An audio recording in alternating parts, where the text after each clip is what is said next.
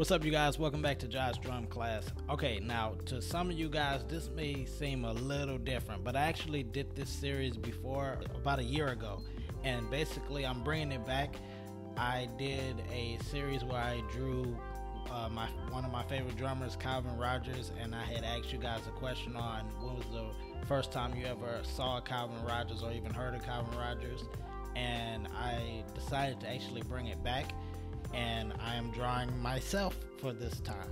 And uh, the, basically, the question I want to ask you guys is what was the first video you saw on my channel? All right, so let me know down in the comment section below. If you want this series to continue, let me know by hitting that like button. Um, let's try to get to 500 likes and I will continue this. I will continue to draw different drummers. So if this gets to uh, 500 likes, I will definitely continue this. Uh, excuse the markers. Um, this is my first time actually using these Copic markers and uh, I think I did pretty good for my first time. I still got to get used to them. But yeah, make sure to hit that like button and let me know down in the comment section what video was the first video you saw on my channel. And yeah, until next time.